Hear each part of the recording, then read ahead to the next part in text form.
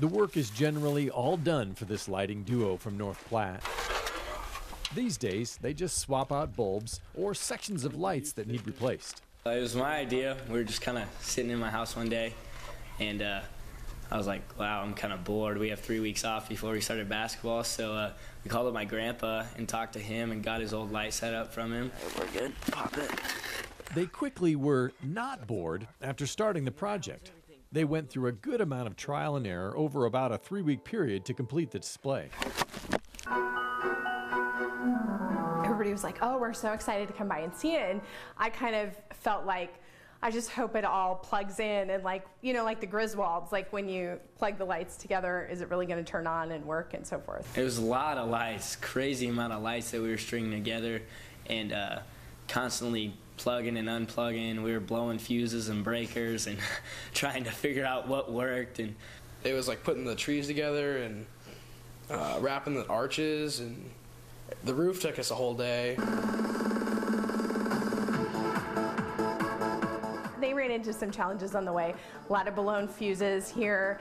Um, you know, they, they need an additional extension cord or they need another light bulb or whatever. So there was lots of trips to the, to the hardware store to, to, you know, get more supplies or get one last thing and, um, you know, many one last trips. Well, it was like really nervous when we were nearing the end because we hadn't been able to plug it in. You can't run it until you have the computer set up. So seeing it run was a relief because we didn't know if all this time we had put in was going to pay off, but it, it definitely did, and we were extremely happy to see it running. No shuffle. They now can mostly just sit back and adjust the music playlist as needed for those passing by. And that computer tells it all what to do and uh, just when to light up and when not to, when to dim and when to shake. It's all just sequence patterns, and they just come in and out as it tells it to. They use a small radio transmitter to send out the signal. When you get there, just turn your radio to 88.9 to listen.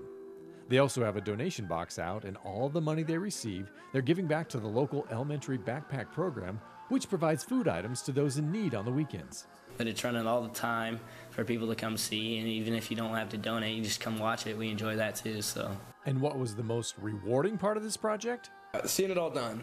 It's nice because every time I come here, it looks really nice, and the snow helps cover all the wires and the, the boxes and the fun we had doing it. If we were able to call Grandpa up and we needed help, but uh, we just got it done, and that was the most important thing. We just wanted to see it work and uh, definitely see it benefit our local like backpack programs and stuff. That's really cool.